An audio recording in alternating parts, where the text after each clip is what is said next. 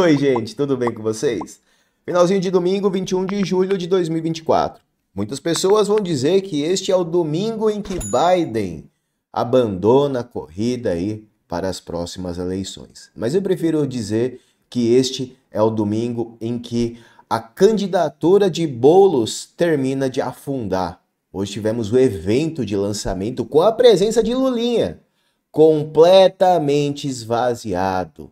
Evento aí flopado. Mais um fiasco para a conta da esquerda, mas é óbvio, eles vão tentar jogar para debaixo do tapete, por isso eu faço questão de trazer como manchete aí como tema desse vídeo.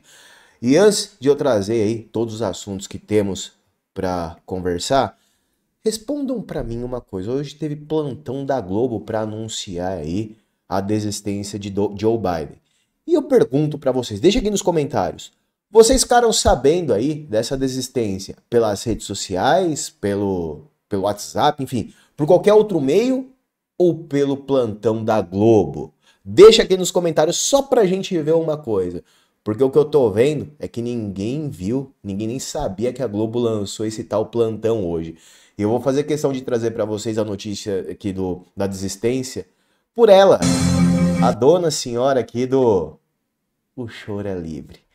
Olha o clima de velório em que a patota anuncia aqui. 15 horas e 13 minutos, a gente vem com a informação ao vivo que o presidente Joe Biden desiste da candidatura à reeleição a presidente dos Estados Unidos. O presidente estava sendo pressionado a abandonar a corrida eleitoral desde o fim de junho por causa do seu desempenho no primeiro debate presidencial, que foi muito difícil. A idade avançada e a aptidão de Biden levantaram preocupações. Tá aí, ó, trechinho aí. Parece que tem alguém que não está muito contente. E vamos falar já, vamos puxar aqui o gancho para as questões aí dos Estados Unidos. E diante, né, dessa desistência, lá já aperta a situação, ó. Presidente da Câmara dos Representantes cobra Biden para renunciar à presidência. Biden deve renunciar ao cargo de presidente imediatamente, disse aqui Mike Johnson. Ou seja, a coisa tende a esquentar e muita gente acredita que ele não termina. O que eu tenho certeza que vai acontecer é a imprensa americana aí trabalhando forte para tentar emplacar o nome agora da Harris, a substituta aí de Brian. Tanto que a Tsuki até assustou, acabou de postar, quando eu tô gravando esse vídeo para vocês, ó, 21 horas e 39 minutos, ela postou agora às 21 e 21, ou seja, às 9 e 21, eu tô gravando às 9 e 39, ela já traz aqui, ó, Rápidos para pesquisa. Pesquisa Harris versus Trump. Acabou de sair. O cara anuncia de tarde e horas depois já deu uma pesquisa. Rápido, hein? Dizendo aqui que ela tá com 45%, encostou já, só tá aí praticamente. Tá, não, já tá, né? Praticamente empatada com Trump. Hum, só acredito vendo. O fato é, eles vão tentar fazer de tudo. De indígena a negra explore a propaganda que melhor se adaptar ao momento. Em 2016, ela era vista aí como índia. É, Kamala Harris, da Califórnia, torna-se primeira senadora indo-americana dos Estados Unidos. Em 2020, olha só, Biden escolhe Kamala Harris como companheira de chapa, a primeira mulher negra. E agora em 24, Harris apoia, apoiada por Biden pode se tornar a primeira mulher e a segunda pessoa negra a ser presidente. Vão gastar todas as cartas. E a prova que eles estão desesperados, isso aqui me preocupa. Deixa eu ver se esse daqui. Aqui, ó. A Rose compartilha a manchete que o Estadão, que o Estadão traz. Ó. Autoridades do alto escalão rejei, rejeitaram repetidamente os pedidos da equipe de segurança de Trump por mais segurança e equipamentos devido à falta de recurso. Estão minando o cara e de outro lado ali articulando novos candidatos. Será que eles estão desesperados? Talvez seja por isso que a esquerda cai mundo afora, né? Dia após dia a gente vê aí nas manchetes o tamanho do contorcionismo, do malabarismo para eles tentar emplacar quem eles querem. Só para contextualizar tudo isso, olha essa manchete que interessante que o Globo traz. Falando ainda das autoridades americanas. Estudo da NASA aponta Brasil como um dos cinco dos lugares do planeta que pode ficar inabitável em 50 anos. Muita gente fala: Meu Deus do céu, acabou. Pois é.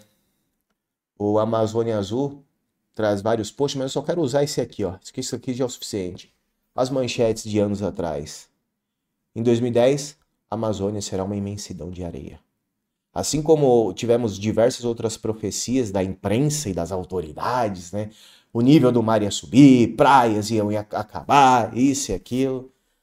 E hoje, bom, o que a gente consegue acompanhar são milhares de, de fotos por aí, aonde mostra né, o nível do mar no exato mesmo altura. Inclusive lá nos Estados Unidos, fala bastante de lá, tem um, um marco que tiraram a foto aí há não sei quantos anos atrás, 40, 50 anos atrás, e tiraram agora recentemente.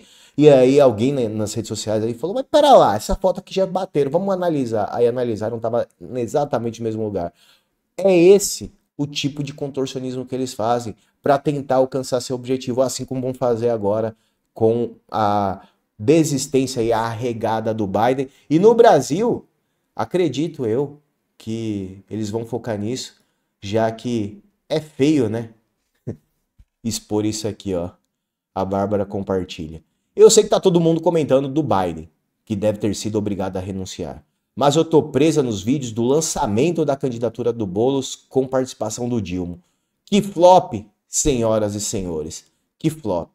Mais um fiasco pra conta aí da esquerda. Falaram tanto, né? Não, Bolsonaro ontem flopou isso e aquilo.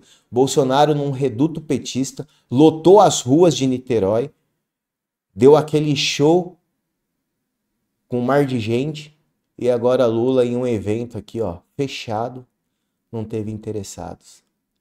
É, meu povo, a coisa para eles vai de mal a pior.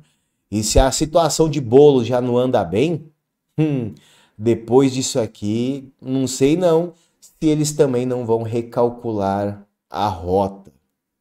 Sei não, sei não. O que será que pode acontecer?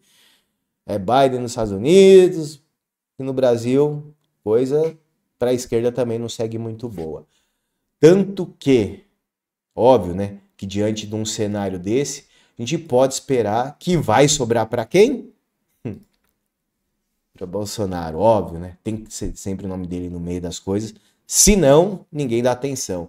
E a Veja anuncia: PF prepara para agosto o indiciamento de Bolsonaro e generais. Polícia analisa provas de inquérito sobre milícias digitais para reforçar relatório que imputará o ex-presidente e as fardadas articulação para golpe de Estado. Matéria que saiu hoje às 11h34 da manhã. Enquanto a Veja traz isso, a Folha de São Paulo vai para cima do Supremo sobre Barroso aí, que ignorou lei de acesso e omitiu dados de viagem do ministro. O tribunal afirma não ter informações de eventos internacionais com o ministro indica link com despesas desatualizadas.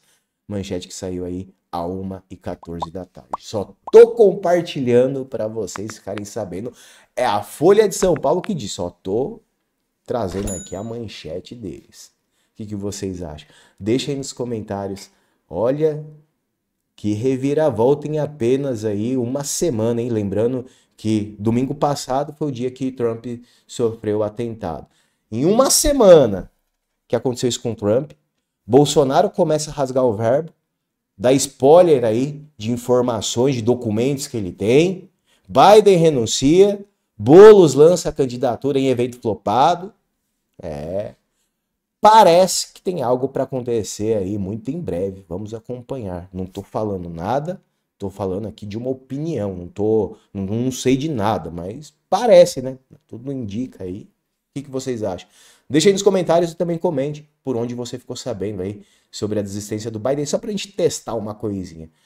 Curta, comentem, compartilhe. Se quiser me ajudar de alguma outra maneira, além do seu engajamento. E do lado do QR Code, abaixo da chave Pix, pode colaborar aí financeiramente com o nosso trabalho de trazer informações para vocês aqui diariamente, de segunda a segunda, inclusive aos domingos.